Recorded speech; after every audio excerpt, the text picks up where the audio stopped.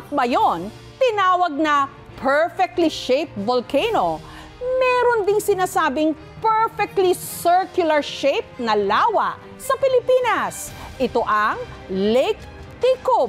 Pero saan ba ito matatagpuan?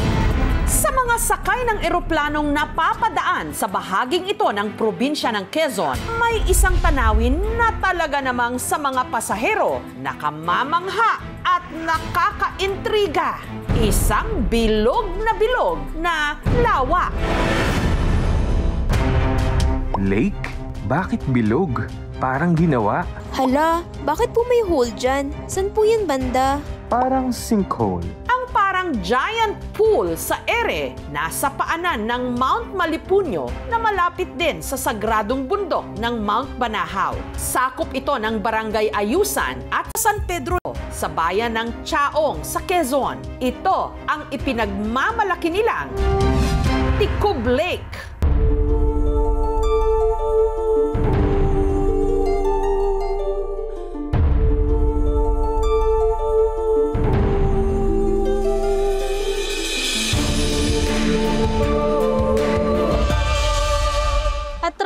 Siya. Perfect po siya para sa mga tourist po na naghahanap ng relaxation. One of a kind, this is one of the hidden gem ni Chaong. Tinatayang may sukat na 50 hectares. Ang lalim nito, wala pa raw nakakasisid. Pero tinatayang nasa 75 meters o 246 feet.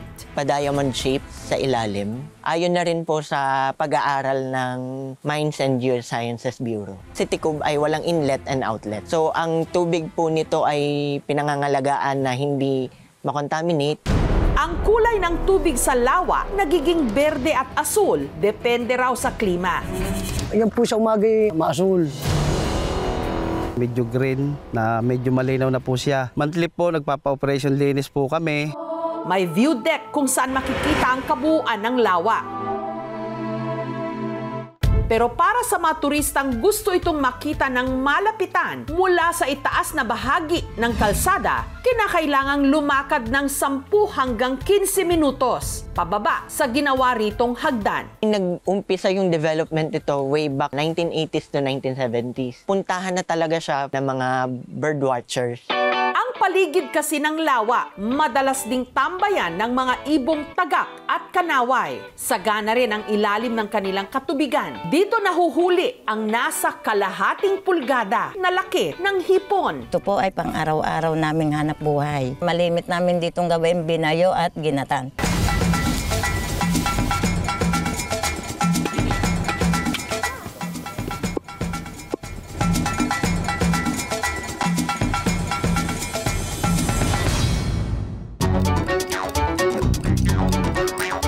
Masarap siyang ipalaman sa tinapay lalo na kung mainit. Paniwala ng mga residente, ang Ticob Lake, bahagi ng isang bundok na ayon sa mga kwentong bayan, tumaob. Kaya naman ito tinawag na Ticob, na ang ibig sabihin, tumaob o tumaklob. Noong unang panahon ay may mag-asawa. Hindi sila magkaanak. Pinangako nila na magkaanak-laan sila. Hindi nila patutungtungin ng lupa yung kanilang anak. Nagkaanak nga sila. Isang araw sila nagpunta sa bayan. Iniwanan nila yung kanilang anak. Tapos may nanliligaw naman. Hindi nananahi yung dalaga. Ayun, ipinatak nung binata yung karayom, pinakikisuyo doon sa nanliligaw. Ayaw ngayon simutin. Tapos sabi niya, ay kung ayaw mong kuhanin, ako na lang. Pagtapak niya sa lupa, bumuka na ang lupa. Itakbo sila, paikot. Noong dumating yung mga magulang niya, wala na, naging lawa na ito. Parang tumaob yung pinakabundok.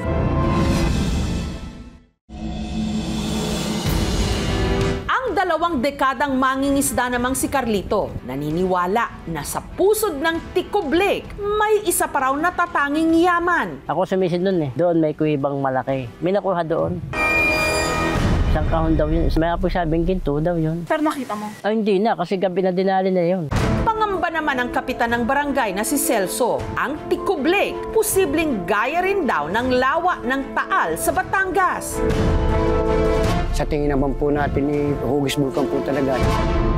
2019, 2007, inubos po ang lahat ng laman ng lawa. Lahat po ng isda, patay po lahat siya. Nag-amoy asupre po siya. Nangangamba po kami, ma'am, dahil siyempre baka po sumabog ulit yan. Sa gilid ng lawa, madalas din daw silang may napansing mga bula. Sa umaga, pagdaan mo doon, ah, may kerosene talaga. Meron daw pong mina ng langis dyan, ayon po sa kwento nung aking lolo. Hindi po natuloy yung pagmimina at dahil lang sabi, pag daw minina yan, aalsa ang tubig. Hindi po siya patable, pero hindi naman po ito makakaapekto sa mga isda na pwedeng kainin. Hindi po siya pwedeng inumin.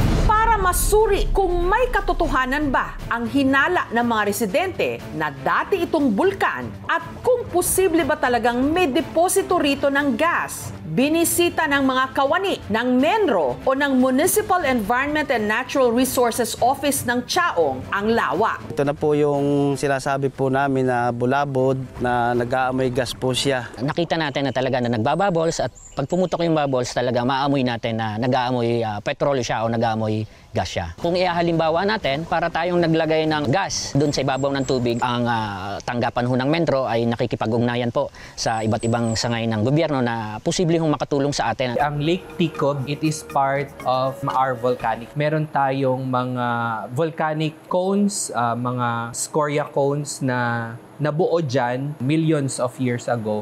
Nagkaroon tayo ng volcanism o kaya yung pag-angat ng mga magma mula sa ilalim ng lupa. So yung Lake Ticob is considered as volcanic crater lake. Nabubuo to pag nagkaroon tayo ng malaking pagsabog. At yung malaking pagsabog na to ay nagkikreate ng depression. Unti-unti itong napupuno ng tubig. It's an old volcano or an inactive volcano. Pwede pa rin mangyari na meron kang mga nag-i-escape na gases kasi nasa ilalim siya eh. It would take millions of years para maubos itong mga gases na to. So pwedeng yung mga bubbles na yon, mga residual na yon or mga panakanakang pag-akyat ng gases natin. Walang possibility na magkakaroon ka ng mga oil deposit within volcanic uh, area. So far, wala pa tayo dito sa Philippines na na-classified na inactive na naging active siya. Lake Ticob naman is safe.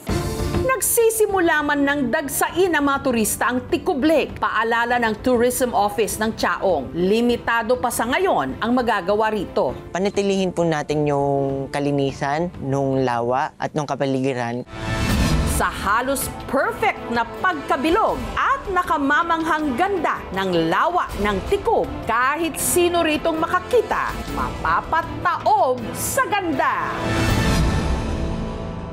Thank you so much mga kapuso. Kung nagustuhan niyo po ang videong ito, subscribe na sa GMA Public Affairs YouTube channel. Don't forget to hit the bell button for our latest updates.